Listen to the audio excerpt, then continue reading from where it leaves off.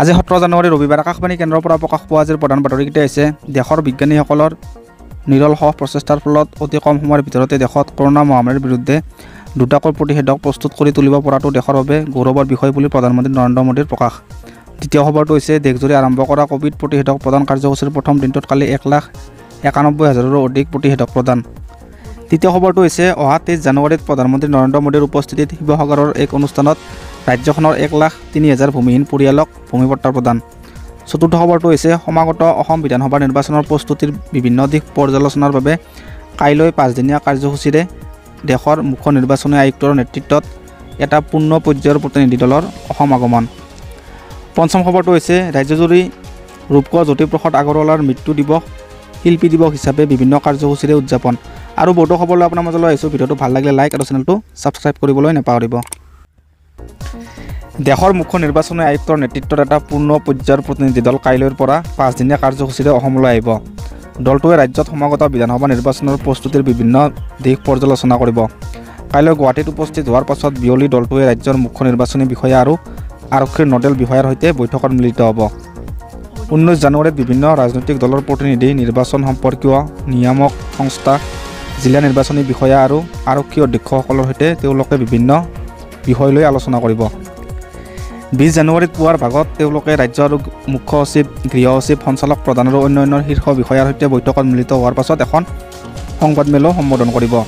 একৈছ জানুৱাৰীত দলটোৱে পুনৰ ৰাজনৈতিক দল নিৰ্বাচন সম্পৰ্কীয় নিয়ামক সংস্থা আৰু প্ৰশাসনৰ বিষয়ববীয়াৰ সৈতে আলোচনা কৰিব। বাইছ জানুৱাৰীত পুনৰ ৰাজ্য মুখ্য সচিবকে ধৰি শীৰ্ষ পৰ্যায়ৰ বিষয়াৰ সৈতে আলোচনাৰ লগতে এখন সংবাদমেল সম্বোধন কৰাৰ পাছত বিয়লি দলটো দিল্লীলৈ উভতি যাব। প্ৰধানমন্ত্ৰী নৰেন্দ্ৰ মোদীয়ে অহা তেইছ জানুৱাৰীত শিৱসাগৰত আয়োজিত এটা অনুষ্ঠানত ৰাজ্যখনৰ এক লাখ তিনি হাজাৰ ভূমিহীন খিলঞ্জীয়া লোকক ভূমিপট্টা প্ৰদান কৰিব। আকাশবাণী গুৱাহাটীৰ কালি দৃষ্টিপাত অনুষ্ঠানত ৰাজ্যৰ ৰাজহ বিভাগৰ আয়ুক্ত সচিব এম এছ মণিবন্ননে এই বিষয়ে প্ৰকাশ কৰে। তেওঁ কয় যে ৰাজ্যখনৰ যোগ্য বিবেচিত লোকসকলক এই ভূমিপট্টাৰ প্ৰদান ব্যৱস্থাৰ দ্বাৰা সামৰি লোৱা হৈছে। এই অনুসৰি যোৱা বছৰ এক লাখ লোকক ভূমিপট্টাৰ প্ৰদানৰ পাছত এই বছৰো এই ব্যৱস্থা কৰা হৈছে। সেই অনুসৰি বিছ ত্ৰিছ বছৰ ধৰি ভূমি ব্যৱহাৰ কৰি থকা ভূমিহীন লোকক সেই ভূমিৰ পট্টা প্ৰদানৰ ব্যৱস্থা আছে যদিও বনাঞ্চল এলেকাৰ ভূমিৰ ক্ষেত্ৰত এই কথা প্ৰযোজ্য নহ'ব। এই অনুষ্ঠানতে আয়ুক্ত সচিবগৰাকীয়ে ৰাজ্য চৰকাৰে লাইকা দদিয়া অঞ্চলবাসীৰ ভূমিৰ সমস্যা সমাধানৰ বাবে সমিতি গঠন কৰি দিছে বুলি উল্লেখ কৰে। তেওঁ লগতে অহা বছৰ বানৰ পৰা ক্ষতিৰ অধিক আশংকা থকা ৰাজ্যখনৰ দুইশখন গাঁও প্ৰথম পৰ্যায়ত সামৰি লৈ আগতীয়াকৈ ক্ষতি হ্ৰাস কৰাৰ বাবে ব্যৱস্থা গ্ৰহণ কৰা হৈছে বুলি জানিবলৈ দিয়ে। পৰৱৰ্তী পৰ্যায়ত আৰু অধিক গাঁও এই ব্যৱস্থাৰে সামৰি লোৱা হ'ব বুলি তেওঁ কয়। আনহাতে ৰাজহ বিভাগৰ অৰুন্ধতী আঁচনিৰ অধীনত সোণৰ বাবদ ধন লাভ কৰাৰ বাবে প্ৰায় চাৰি হাজাৰ বিবাহিত দম্পতীয়ে আবেদন কৰিছে বুলি তেওঁ প্ৰকাশ কৰে। আন এটা প্ৰসংগত আয়ুক্ত সচিবগৰাকীয়ে আধাৰ পঞ্জীয়ন সম্পূৰ্ণ বিনামূলীয়া বুলি কোৱাৰ লগতে ইয়াৰ বাবে কোনো লোককে ধন নিদিবলৈ আহ্বান জনায়। প্ৰধানমন্ত্ৰী নৰেন্দ্ৰ মোদীয়ে কৈছে যে ভাৰতৰ ক'ভিড নাইণ্টিন প্ৰতিষেধক প্ৰদান অভিযান মানৱীয় ৰীতি নীতিৰ ওপৰত আধাৰিত আৰু এই প্ৰতিষেধক প্ৰদানৰ ক্ষেত্ৰত ক'ভিড বিপদৰ পৰা সৰ্বাধিক আশংকা থকা লোকসকলক অগ্ৰাধিকাৰ দিয়া হ'ব। দেশজুৰি কালি বিশ্বৰ সৰ্ববৃহৎ ক'ভিড নাইণ্টিনৰ প্ৰতিষেধক প্ৰদান অভিযানৰ শুভাৰম্ভ কৰি প্ৰধানমন্ত্ৰীয়ে এই বিষয়ে প্ৰকাশ কৰে। তেওঁ কয় যে ইতিহাসত ইয়াৰ পূৰ্বে কেতিয়াও এনেধৰণৰ বৃহৎ প্ৰতিষেধক প্ৰদান অভিযান চলোৱা হোৱা নাছিল। তেওঁ কয় যে ভাৰতত এই অভিযানৰ প্ৰথম পৰ্যায়ত তিনি কোটি লোকক টীকা প্ৰদান কৰা হ'ব আৰু দ্বিতীয় পৰ্যায়ত ত্ৰিছ কোটি লোকক সামৰি লোৱাৰ ব্যৱস্থা কৰা হ'ব। প্ৰধানমন্ত্ৰীয়ে কয় যে বিশ্বত কেৱল তিনিখন দেশহে আছে যাৰ জনসংখ্যা ত্ৰিছ কোটিতকৈ অধিক। এই দেশকেইখন হৈছে চীন ভাৰত আৰু আমেৰিকা। প্ৰধানমন্ত্ৰীয়ে লগতে বিগত কেইবামাহ ধৰি ক'ভিড প্ৰতিষেধক প্ৰস্তুত কৰাৰ বাবে কাম কৰি থকা বিজ্ঞানীসকলৰ ভূয়সী প্ৰশংসা কৰি কয় যে অতি কম সময়ৰ ভিতৰত কৰোণা মহামাৰীৰ বিৰুদ্ধে দেশত দুটাকৈ প্ৰতিষেধক প্ৰস্তুত কৰি তুলিব পৰাটো সঁচাকৈয়ে গৌৰৱৰ বিষয়। তেওঁ আৰু কয় যে ভাৰতত প্ৰস্তুত কৰা এই প্ৰতিষেধক বিদেশৰ প্ৰতিষেধকতকৈ কম খৰচী যদিও সমানে ফলপ্ৰসূ। শ্ৰীমোদীয়ে কয় যে ভাৰতত প্ৰস্তুত কৰা প্ৰতিষেধকসমূহৰ প্ৰভাৱ সম্পৰ্কে নিশ্চিত হোৱাৰ পাছতে সেইবোৰৰ ব্যৱহাৰৰ ক্ষেত্ৰত বিজ্ঞানীসকলে অনুমতি প্ৰদান কৰিছে।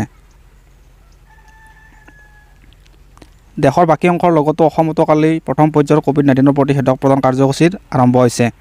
এই অভিযানৰ প্ৰথম পৰ্যায়ত ৰাজ্যখনৰ পঁয়ষষ্ঠিটা স্থানত এক লাখ নব্বৈ হাজাৰ স্বাস্থ্যকৰ্মী আৰু ক'ভিড যোদ্ধাক ক'ভিড প্ৰতিষেধক চিটা প্ৰদান কৰা হ'ব। মুখ্যমন্ত্ৰী সৰ্বানন্দ সোণোৱালে কালি ডিব্ৰুগড়ত অসম চিকিৎসা মহাবিদ্যালয় হস্পিটেলত ক'ভিড নাইণ্টিন টীকাকৰণ কাৰ্যসূচীৰ শুভাৰম্ভ কৰাৰ লগতে স্বাস্থ্যমন্ত্ৰী ডক্টৰ হিমন্ত বিশ্ব শৰ্মাই গুৱাহাটী চিকিৎসা মহাবিদ্যালয় হস্পিটেলত কাৰ্যসূচীৰ শুভাৰম্ভ কৰে। মুখ্যমন্ত্ৰীয়ে চিকিৎসা মহাবিদ্যালয় হস্পিটেলখনত প্ৰতিষেধক টীকাৰ প্ৰদান অভিযানত চিকিৎসালয়খনত প্ৰথমটো পালি প্ৰদানৰ সময়ত উপস্থিত থাকে।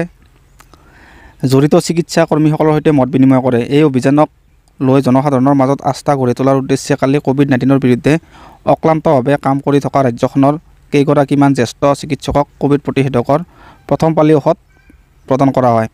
প্ৰতিষেধক গ্ৰহণ কৰাৰ পাছত চিকিৎসককেইগৰাকীয়ে কয় যে এই প্ৰতিষেধক সম্পূৰ্ণৰূপে নিৰাপদ আৰু জনসাধাৰণে নিৰ্ভীকভাৱে এই প্ৰতিষেধক গ্ৰহণ কৰা উচিত। এই প্ৰতিষেধক প্ৰদান অভিযানৰ প্ৰথম পৰ্যায়ত অহা আঠ সপ্তাহত এক লাখ নব্বৈ হাজাৰ ক'ভিড যোদ্ধাক টীকা প্ৰদান কৰা হ'ব। স্বাস্থ্য বিভাগে টীকাকৰণ অভিযানৰ বাবে আঠ হাজাৰ ছশ একাৱন্নগৰাকী নাৰ্ছক ইতিমধ্যে প্ৰশিক্ষণ প্ৰদান কৰিছে। এই হাজাৰ তিনিশগৰাকী নিৰীক্ষকে এই অভিযান কাৰ্যসূচীত সম্পূৰ্ণ দৃষ্টি ৰাখিব।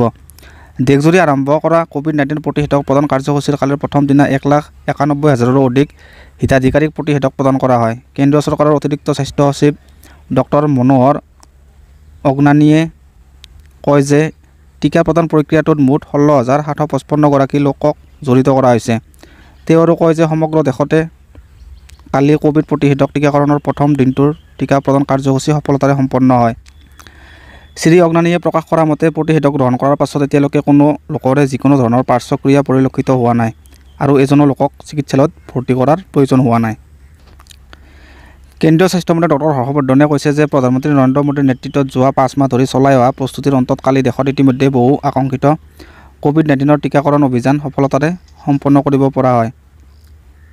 কেন্দ্ৰীয় স্বাস্থ্যমন্ত্ৰীগৰাকীয়ে বিশ্বৰ সৰ্ববৃহৎ টীকাকৰণ কাৰ্যসূচীৰ প্ৰথম দিনাৰ পৰ্যালোচনা চলোৱাৰ উদ্দেশ্যে কালি ৰাজ্য আৰু কেন্দ্ৰশাসিত অঞ্চলৰ স্বাস্থ্যমন্ত্ৰীসকলৰ সৈতে মত বিনিময় কৰে।